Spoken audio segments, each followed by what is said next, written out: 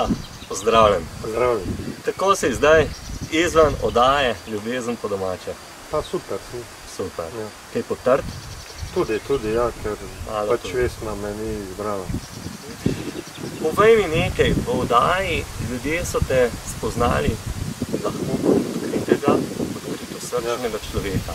Dejansko si vesni res svoje srce Izpovedal, ja. na dlan dal in je vse povedal, ne, kaj čutiš. In dejansko je bilo to vidno, iskreno povedano. Ja, to je iskreno bilo povedano. Zdaj, Ja. na koncu, ko te je izločila, ne, kako si se počutil?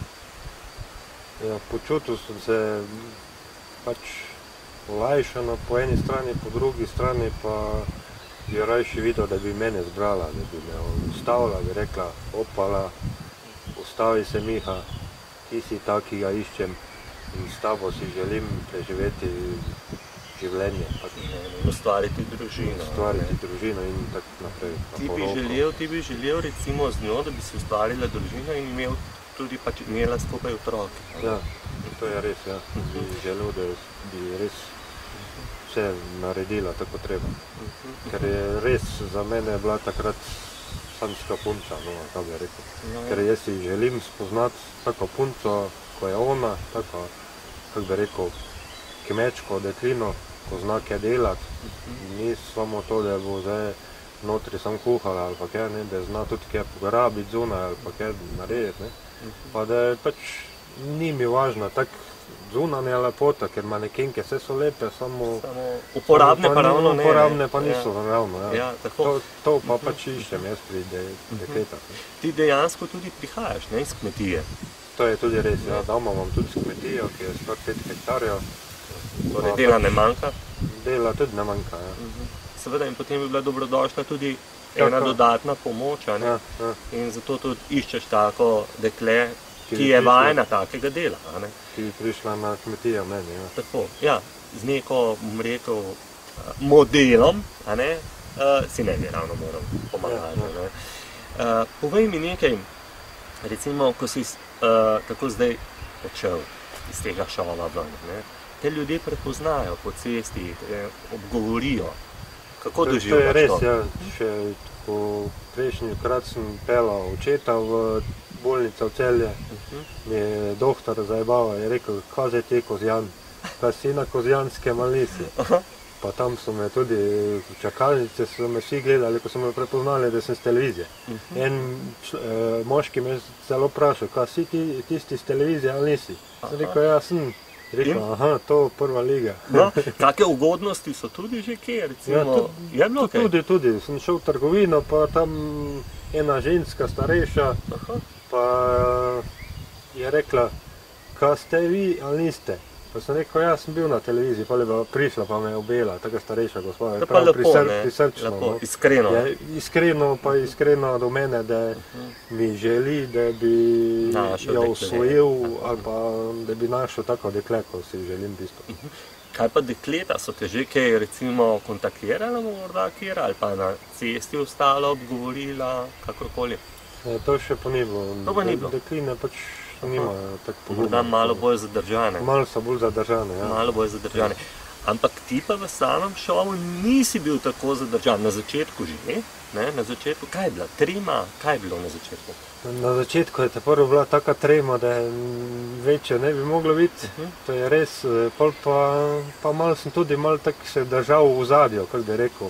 Sem analiziral, kako konkurenco premagati, v bistvu tudi malo. Mal Mal tak, taktiziral. taktizirate prvo, pol sem pa videl, kako je, da Joško bo zihar zbran, pol pa sem proval, da bi Joško te premagal čez celo oddajo. Če se le da, ne? Ja, če se le da, samo to mi na koncu žal mi ni uspelo. Ne. Ni uspelo. Vendar pustimo se presenetiti. Nikoli ne vemo, kaj čas prinese. Ne? Ja, točno tako. E, zdaj povej nekaj. Tak prizor je bil tudi, kot je usedla, vse, vemo, vesna, ne, Ja. kar v naročje sta se poljubila. Takrat si se mi zdel pa zelo tam. Je, tam je bila pa največja trema. bila, To tudi, ja, to Je bilo, še ne. meni pa na televiziji. Ne, pa še kamere, a ne naredijo svoje. Drugače, ne bi bil tak Ja. ja. bi malo manj bil, ne? bi se sprostil bolj. Ne?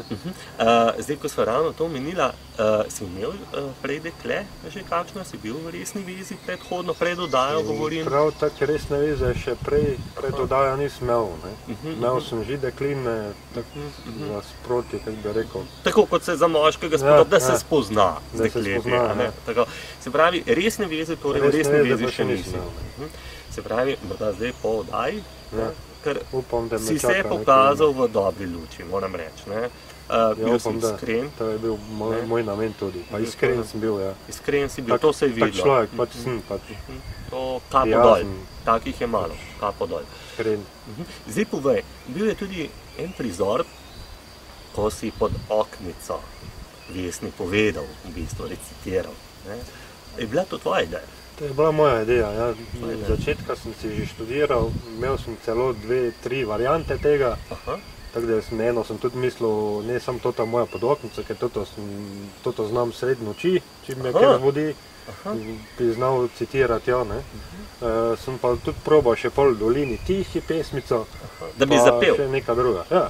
Aha. Pač, no, tam za pet pač ne znam, pol sem pa najbolj je bilo Dobro. to, da bi bilo to. Ne. Aha. Zdaj pa probal sem, vprašal sem, uh, pač snemalca, če bi bilo to, ne. Pol so pa povedali, da ne šefa vprašam, šefico. Ne. Aha.